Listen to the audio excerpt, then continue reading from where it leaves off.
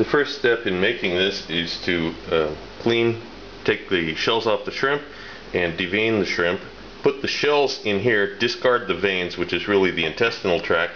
It's, it's uh, your shrimp. We're just going to put them in a little bowl here, put some cling film over them, and put them into the refrigerator to store till we're ready for them. The shells are going to go into a pan with some hot oil to begin making the fish stock. Pan is getting hot. We're going to add these shrimp shells and legs into it. It's about a tablespoon of vegetable oil in there. And we're going to cook these until they, uh, they turn pink red. Develop some flavor on them. Also for some extra flavor, and put a handful of chopped onion in there. You don't have to. Just helps the, helps the flavor a little bit in the end.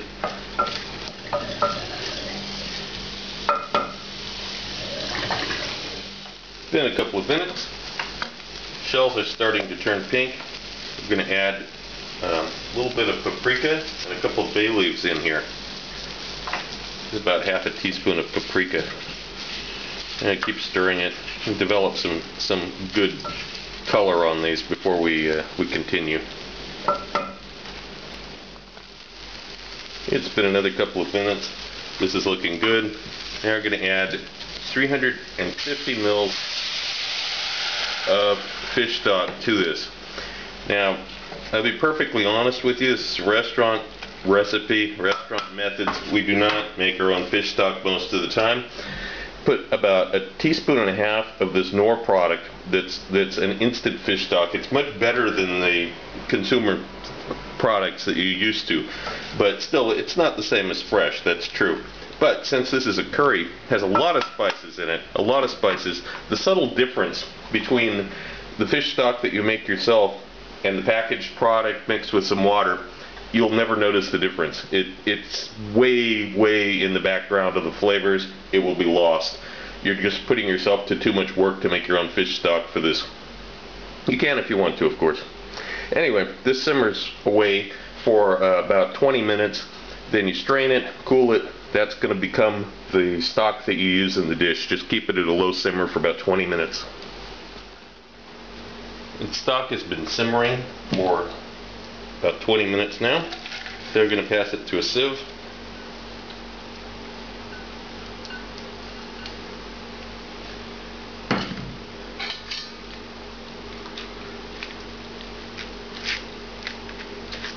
Push this down.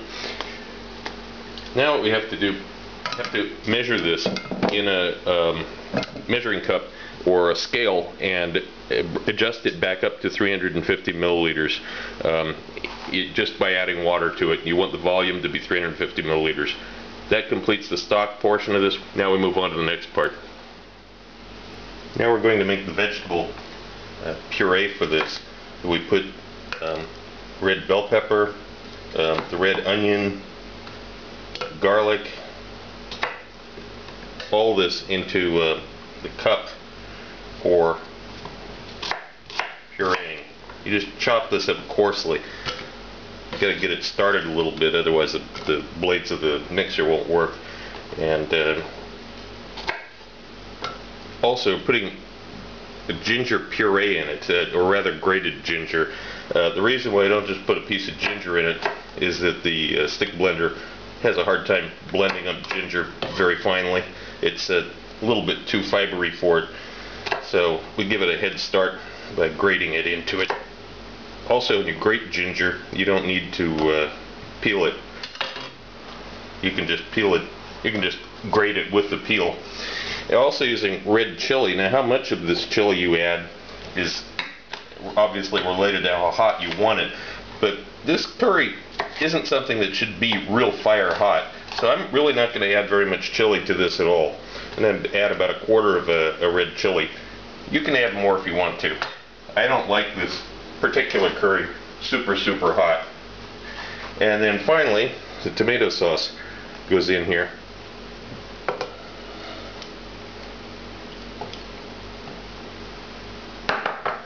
And the whole thing gets pureed obviously take a, obviously take a few minutes.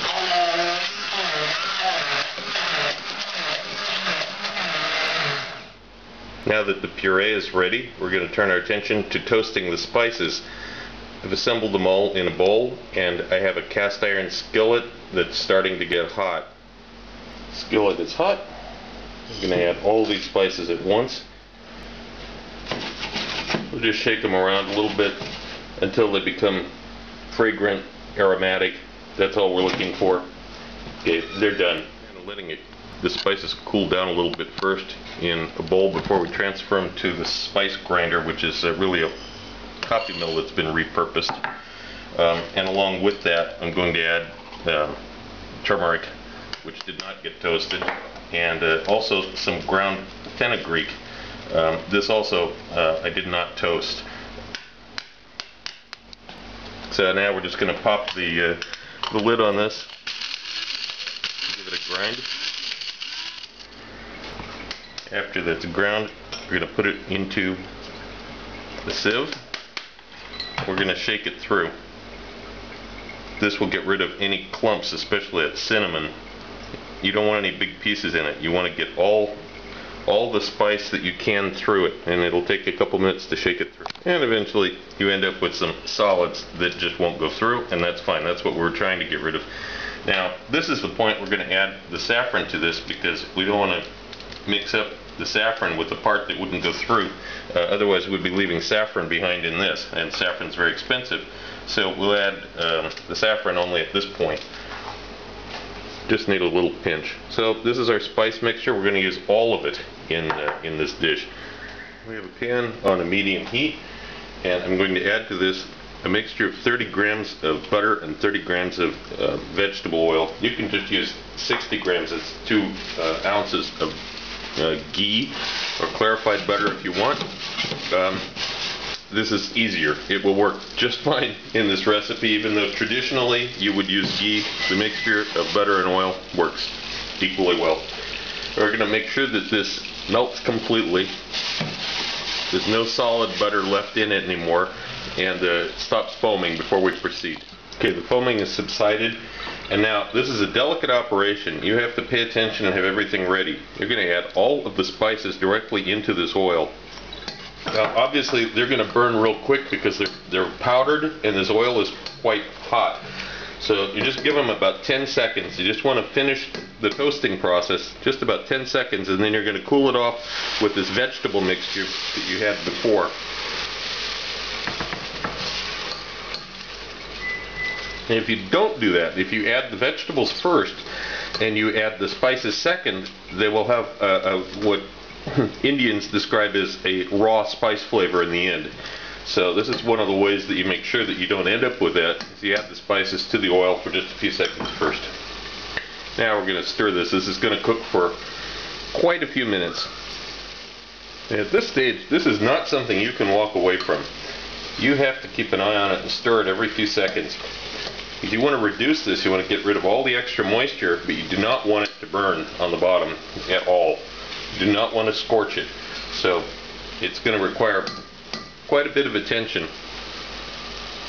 About 10 minutes cooking time in all. One thing you can do between stirring this is to prep your spinach and your potatoes. You've got them cubed. Potatoes are cubed, sitting in some water. We'll drain those off just before we actually use them. And this is 125 grams of spinach, as you can see. It's a fair mountain of spinach. We're just going to give this a coarse chop. Meanwhile, we're still stirring this, making sure that it doesn't stick at all. It's on medium heat. On a scale of 1 to 10, it's on 5.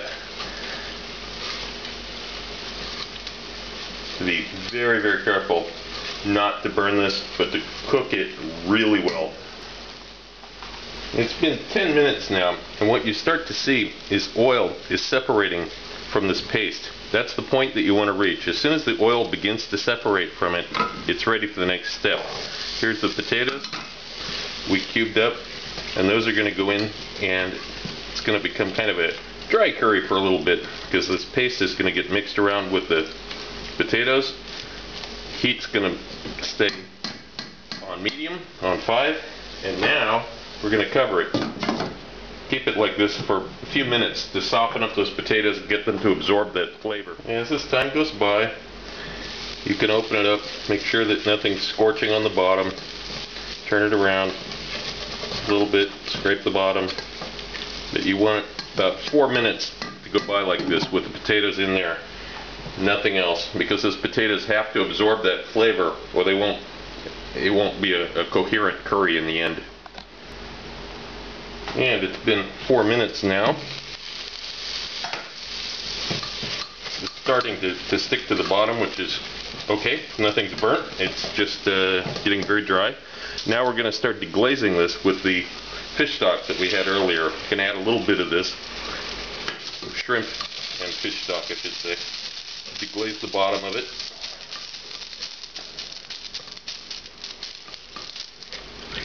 As you can see, nothing's burnt. It's just uh, just a nice fond in the bottom. And again, we're going to cover this up and let it cook for a couple more minutes. The key here is you really want the potato to absorb as much of this concentrated flavor as you can so that the potato is very strongly flavored. It's been three more minutes. Take and we're going to add the rest of the fish stock.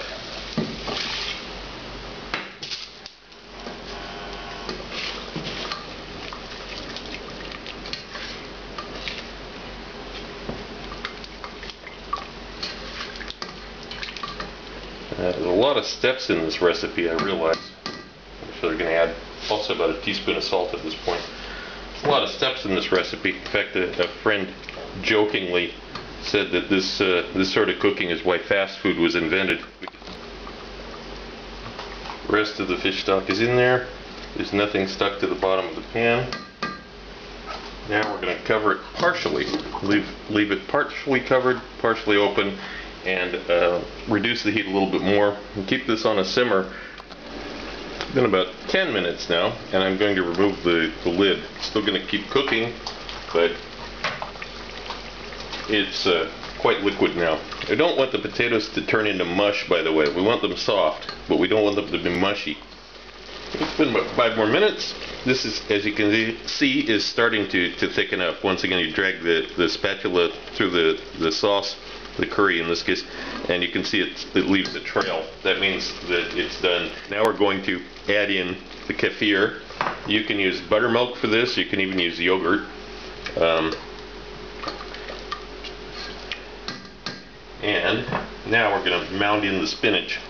And this is going to add a lot of moisture to the dish as the spinach uh, uh, cooks down. So this needs to be cooked quite a while again uh, with no lid on it because we want to evaporate all the moisture out of the spinach.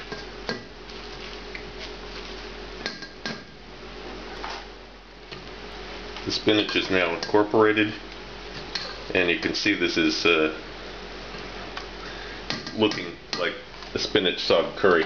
So now we're going to put the lid on completely, turn the heat way down to 2 and let this uh, simmer away until the potatoes are soft. That's probably about 10 more minutes. Now, it's also during this time that you're going to taste it and see does it need more salt? Yes, it does. And brown sugar. And we'll just continue cooking it until those potatoes are the consistency that you want them. And the heat, again, is very low. It's on uh, 2. And we're keeping it covered because we don't want to reduce this anymore. It's already pretty thick. However, if your curry, for whatever reason, at this point, is not thick, then leave the cover off by all means. Make it thicker.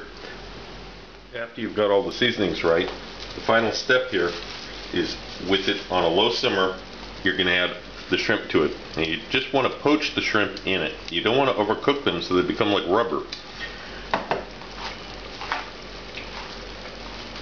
These go in at the end because they don't, they're not going to take very much cooking. Just a couple minutes of cooking and the shrimp will be done and the whole thing will be ready.